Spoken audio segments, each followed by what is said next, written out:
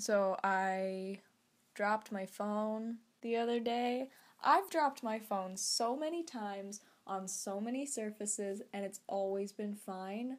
But this time I dropped it and it slammed right into a curb, screen first, and now it's cracked. Okay, so you know those autocorrects that they make you sound ridiculous. Um, but you know how sometimes it's not autocorrect, it's your problem, you're the problem, and you just hit the wrong letter and then you say a different word. So, like, you're kind of like in this new friendship, flirtationship with someone, and you just you're you're talking about pizza and how much you love pizza, but you're not quite ready for them to know your devotion to pizza.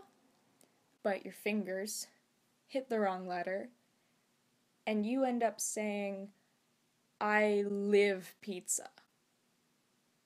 Whoa, we're just not at that place yet. I'm not ready for you to know this about me. It's just, it's too intense. It's too intense for me. You know, maybe like after we're in a relationship, give me some time to get to know you. See if I trust you enough to let you know that I live and breathe pizza.